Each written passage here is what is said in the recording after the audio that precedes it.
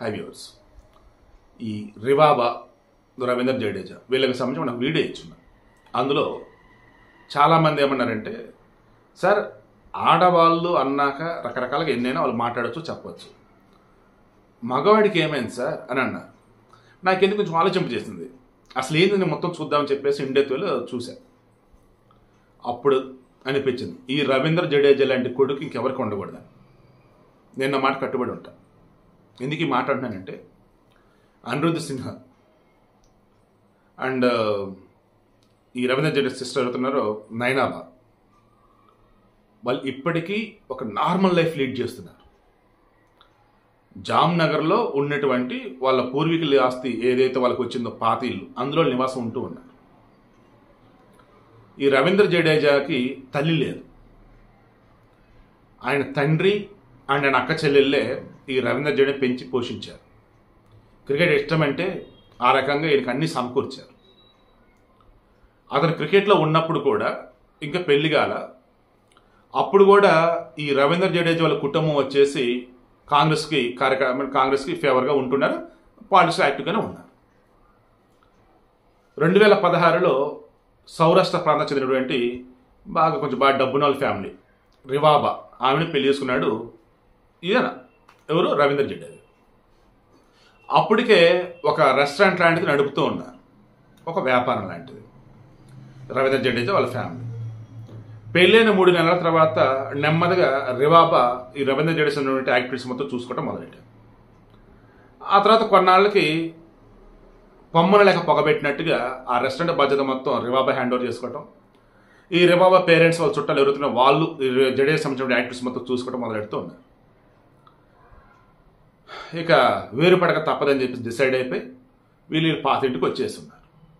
వాళ్ళ ఇంట్లో జీవనం సాగిస్తున్నారు. అప్పుడు రవీంద్ర జడేజా నాన్న నేను అనేవాడిని సంపాదించింది నేను అన్న ఈరోజు ఈ పొజిషన్కి ఎదిగింది నీ వల్లే. అలాంటిది నువ్వు వెళ్ళి అక్కడ ఉండటం ఏంటి? సరే ఉన్నా. ఇదిగో నాన్న నా దగ్గర ఎంత ఉంది. వేరే చోట ఇల్లు కొనుక్కోండి కొత్తది కట్టుకోండి. ఇదిగో వ్యాపారం ఇది చేసుకోండి. సరే నా భార్య వాళ్ళ బంధువులు ఉంటూ ఉన్నా వాళ్ళది దాల్దే. మంద మందే అన్నట్టుగా చెప్పి నేను ఒకవేళ వాళ్ళతో ఉంటూ ఉన్నా ఏంటి మీరు మాత్రం ఇబ్బంది పడుతూ ఉండొద్దు అని చెప్పేసి డబ్బు ఇవ్వాలా? డబ్బు ఇవ్వాల?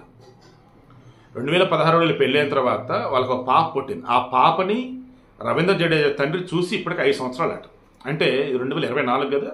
అంటే లాస్ట్ టైం రెండు వేల పంతొమ్మిదిలో చూసినట్టు అనుకోవచ్చు. అంటే చిన్నపిల్లగా ఉన్నప్పుడు చూసినాడు ఆయన. నేను వీడియో మెయిన్ చెప్తుంది ఏంటంటే చాలా మంది వేరే కాపురం అంటారు చాలా మంది భార్య తరఫున వెళ్ళి బతుకుతూ ఉంటారు. ఓకే బతకడం తప్పులా. మీకు నచ్చే చోట ఉండడం తప్పులా. మీరు అక్కడ విలాసాలు అనుభవిస్తూ బంగ్లాలో జీవనం సాగిస్తూ ఉంటే నిన్ను కన్నతల్లి చనిపోయినా వేరే పెళ్ళి చేసుకోకుండా నీ కోసం అంటూ ఉన్నటువంటి తండ్రి నిన్ను కన్న కొడుకుగా చూసుకున్నటువంటి అక్కచెల్లెలు ఉన్నప్పుడు వారికంటూ నువ్వు సంపాదించిన దానిలో కొంత మొత్తం ఇచ్చి మీరు ఎదగండి. నేను నా భార్య వల్ల వేరేతో వాళ్ళ సైడ్ వెళ్ళినా ఏంటి? లేదు నేను వేరే చోట సెటిల్ అయి ఉన్నా. మీరు గతంలో ఎట్లాగైతే మీరు ఇబ్బంది పడ్డారో గతంలో ఎలాగైతే మిడిల్ క్లాస్ లైఫ్ లీడ్ చేశారో అలాగే వద్దు. ఇప్పుడు నా డబ్బు ఉంది కదా. ఇప్పుడు నేను క్రికెటర్గా ఉన్నా యాడ్లో నటిస్తున్నా ఐపీఎల్లో సంపాదిస్తున్నా బయట వ్యాపారాలు ఉన్నాయి. ఇవి నా భార్య నా భార్య తరఫుల్లో మొత్తం తీసుకుంటూ ఉండొచ్చు కాక. బట్ అందులో షేర్ మీది. అని వీళ్ళకి ఇవ్వాలి కదా ఇవ్వాల. అదే ఇప్పుడు అనిరుద్ సింహ్ చెప్పిన తర్వాత భలే బాధేసింది. ఇప్పటికి అదే పాతింట్లో ఉంటూ ఉన్నారు. అదే జామ్నగర్లో ఉంటూ ఉన్నాడు. ఇది రవీంద్ర జడేజా కూడా. విలాసవంతమైన బంగళాలు ఇదే విషయానికి సంబంధించి ఆమె రివాబాని నేను ఏదో కార్యక్రమానికి వచ్చి ప్రజెంట్ ఆమె జామ్నగర్ ఎమ్మెల్యేగా ఉన్నట్టుంది బీజేపీ తరఫున. మెయిన్ ఎక్కడంటే వీళ్ళ కుటుంబానికి ఇంకా బాగా గ్యాప్ ఎక్కడొచ్చిందంటే ఈ రవీంద్ర జడేజా యొక్క అక్క ఈ నైనాబా ఎవరైతే ఉన్నారో ఆమె కాంగ్రెస్ తరఫున ఎమ్మెల్యేగా పోటీ చేశారు.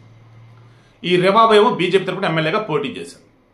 ఇక దాంతో అనుకునే విషయాలు చాలా బయటకు వచ్చింది. నిజంగా రాజకీయం పరమ దరిద్రం. డబ్బు కుటుంబం చీల్చడంలో నెంబర్ వన్ అసలు అది. డబ్బు రాజకీయం ఏవైతే చీలుస్తాయంటారో ఎగ్జాక్ట్గా ఆ రెండే ఇక్కడ ఇక్కడ కనిపిస్తా ఉన్నాయి. బట్ ఆ మగవాడు అని కూడా కరెక్ట్గా ఉంటే వాడు అన్ని కూడా మేనేజ్ చేసుకోవచ్చు. అది రవీంద్ర జడేజా చేతగాల. మరి రవీంద్ర జడేజా ఏమంటాడు? నేను చాలా చెప్పవచ్చు కానీ నేను చెప్పలేను అంటాడు. ఈమె రివాబా కూడా నేను కార్యక్రమం పాల్గొనడానికి వస్తే ఆమెను అడిగారు జర్నలిస్టులు ఏమని? మేడం మీ మామయ్య ఉన్నటువంటి కామెంట్స్ వస్తే ఏంటి చెప్పండి అంటే ఇదే కార్యక్రమం. ఇక్కడికి ఎందుకు వచ్చా నేను? మీరు అడిగేది ఏంటి? ఇక్కడ అడగొద్దవి నేను చెప్పే చోటు చెప్తాను ఈమంట ఇప్పుడు సమంతని నాగచైతన్యతో విడాకులు తీసుకోవడానికి ముందు ఆమె తిరుమల దర్శనానికి వెళ్తే తిరుమల తిరుపతి దేవస్థానంలో అక్కడ ఆమె విడాకుల టాపిక్ తీస్తే ఆమె అంది ఎక్కడ ఏం మాట్లాడుతున్నారండి అని. ఆమె కరెక్ట్ అప్పుడు ఆ రోజు. ఎందుకంటే అది దేవస్థానం. ఉన్న సమస్యలను పోగొట్టడానికి ప్రశాంతంగా ఆడికి వచ్చింది ఆమె. దేవుడికి చెప్పాల్సిన చెప్పుని బయటకు వస్తుంది. మొక్కులు మొక్కు అని అలాంటప్పుడు మరలా ఆమె ఏ ఇష్యూ అయితే ఇబ్బంది పడుతుందో దాన్ని మరలా అడగకూడదు అక్కడ. తప్పది అందుకే నాకు కరెక్ట్గా రెస్పాండ్ అయింది. ఎక్కడ ఏం మాట్లాడుతున్నారండి అని.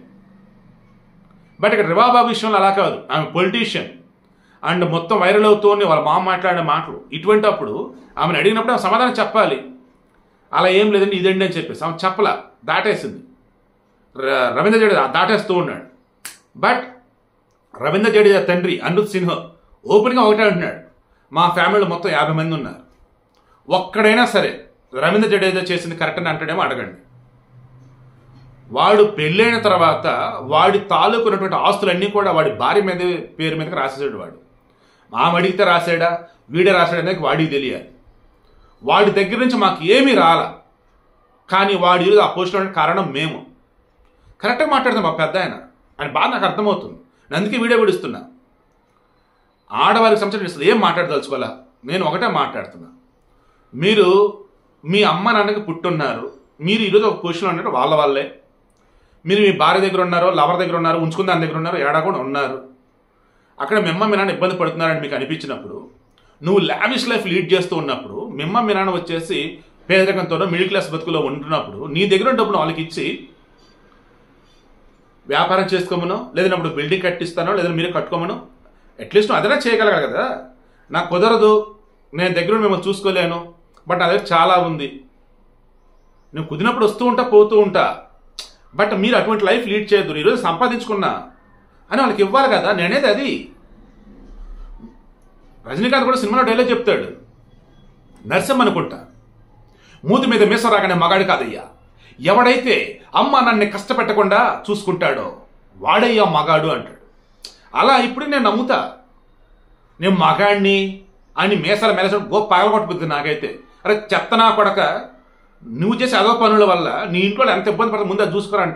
ఏ నిజం సీరియస్ ఈ మాట అయితే నా ఫ్రెండ్స్ ఎవరున్నా కానీ వాడు కరెక్ట్గా లేకుండా వాడి వల్ల ఇంట్లో ఇబ్బంది పడుతూ ఉంటే నీదే అంట. నువ్వే మగాడివిరా అంట. మళ్ళీ చెప్తాను ఆడో టాపిక్ తీసుకురా తీసుకురాదలుచుకోలేదు ఇందులో. బట్ ఆడవారికి సంబంధించి కూడా మీరు ఆలోచించండి. మీరు అత్తింటికి వెళ్ళగానే అత్త రాచి రంపాన్ని పెడతాను అదే నేను అంటారు. ఎస్ కొంతమంది ఉంటారు అటువంటి వాళ్ళు. అటువంటి వాళ్ళు మీరు ఆలోచించండి. మీ కూతురు కూడా వేరే ఇంటికి వెళ్తే ఇటువంటి ఇబ్బందులు వాటికి గురి చేస్తే మీరు ఎలా ఫీల్ అవుతారండి అండ్ కోడళ్ళు అమ్మ మీరు ఒక ఇంటికి వెళ్ళినప్పుడు ఆమె అత్త కాదు మెమ్మ అనుకోండి అమ్మ. అన్ని సెట్ అవుతాయి అన్ని బాగుంటాయి. పెళ్ళి చేసుకోగానే మొగుడిని వేరు కాపురం పెట్టేవాళ్ళని ఈ రోజులలో వేరు కాపురం పెట్టినంత మాత్రాన ఇక ఆ కుటుంబంతో బంధాలు తెగిపోతాయా? బాధ్యతలు మేము కాకుండా పోతాయా?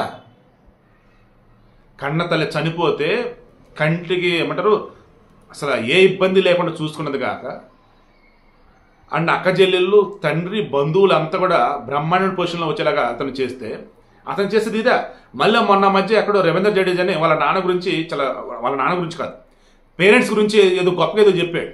అనకూడదు కానీ చెప్పేవి శ్రీరంగ నూతులు దూరేవి దొమ్మడు దమ్మరు గుడిసి డైలాగ్ అంటారు. సో నాకు రవీంద్ర గురించి నాకు పూర్తిగా తెలియదండి. కానీ ఇప్పుడు కనిపిస్తున్నది ఏదైతే ఉందో అది చూసిన తర్వాత నేను ప్రాక్టికల్గా మాట్లాడుతున్నా ఇతను రవీంద్ర జడేజా ఒక కొడుకుగా ఫెయిల్ అయ్యాడు. అతను భార్య చేతుల్లో ఉన్నాడా భార్య బంధువుల చేతుల్లో ఉన్నాడా నేను మాట్లాడాను. కానీ అతను లాంటి కొడుకు వద్దు అని నేనైతే చెప్పాలని. ఎందుకంటే అనుత్ సిన్హా మాటలు అంత దారుణంగా ఉన్నాయి. అంటే అంత దారుణం ఆయన బాధ అనమాట అదంతా కూడా. సో మీరెవరు ఈ తప్పు చేద్దని ఈ వీడియో యొక్క మెయిన్ టెస్ట్ కూడా అదే. దయచేసి మరలా చెప్తే గుర్తుంచుకోండి. మీరు హ్యాపీగా మీ భార్యతో మీకు నచ్చిన చోట ఉండండి. కానీ మీరు సంపాదనలో ఎన్నాళ్ళు మిమ్మల్ని కష్టపడి పెంచిన వాళ్ళు ఎవరైతే ఉన్నారో చదివించిన వాళ్ళు ఎవరైతే ఉన్నారో అమ్మ నాన్న లేదంటే అక్క చెల్ల లేదన్నప్పుడు అన్నానా లేదన్నప్పుడు బంధువుల. వారికి మీరు మీ దగ్గర ఉన్నంతలో కొంత సాయం చేయండి.